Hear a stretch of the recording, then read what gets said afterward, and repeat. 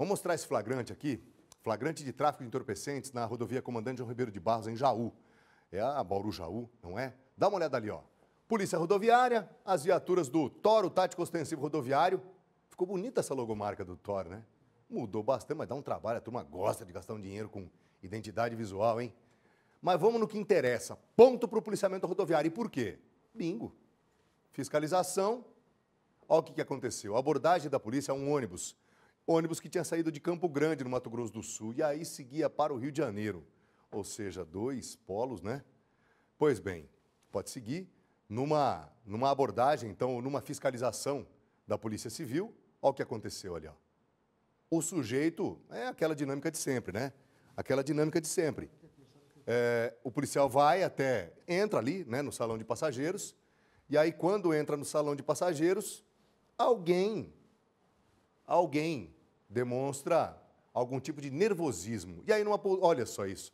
Ah, o, o sujeito ou a sujeita, já já nós vamos saber, tentou dar um jaguané, como diria o Rodrigo. Ô, Rodrigão, eu gostei do jaguané hoje, viu, Rodrigo? Mas não teve jeito. Usei teu jaguané, desculpe. Poltrona vazia. Tinha apenas uma mochila na poltrona.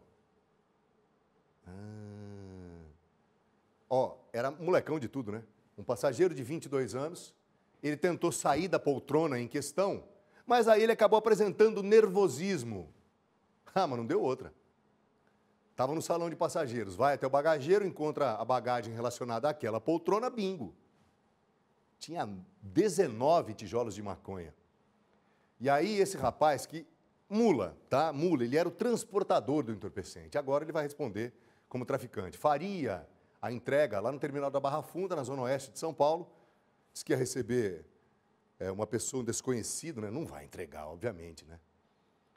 E aí esse cara foi levado para a CPJ de Jaú e vai responder agora pelo tráfico de entorpecentes. Era mula, agora vai responder como traficante.